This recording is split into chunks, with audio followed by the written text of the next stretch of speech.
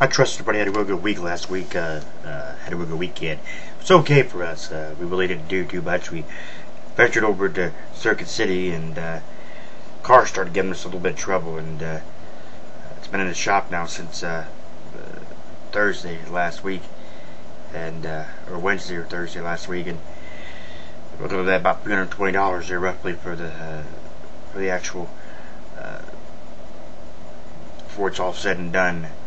A lot of people say get a new car, but uh, I just look at it this way. Uh, you know, things happen, and uh, you know, you, why get a new car? Or why uh, pay or put it uh, trade it in, put a down payment on a new car when you know we making payments on this car, and uh, why should we go ma- uh, make a payment on this car and everything? You just basically gotta you know suck it up and uh, pay for it. You know. Uh, other than that, though, like I said, we just basically had ourselves a real smooth week, so to speak. Uh, not really too much actually happened. Uh, like I said, really to report. Really didn't get the opportunity to do any, uh, really too much because of the uh, car situation. But uh, said, uh, other than that, like I said, I haven't been doing really too much of anything, and uh, just just kind of been laying laying a little low, so to speak.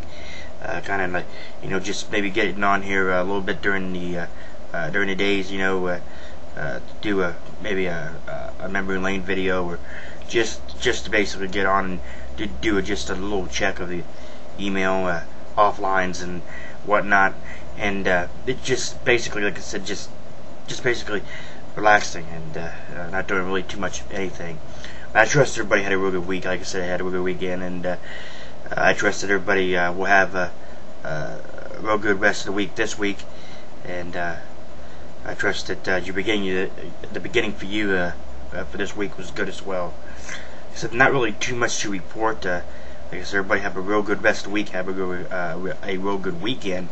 And I'll catch you back here next week. Hopefully, something really exciting uh, or uh, something exciting happens. At the end of the week, here on Friday is my birthday, and I'll be 35 years old, people, and I feel like an old man.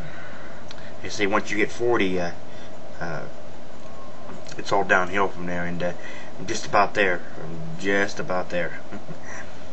Everybody have a like I said, a real good rest of the week and real good week, man. I'll catch you next week now. Peeps, peeps out.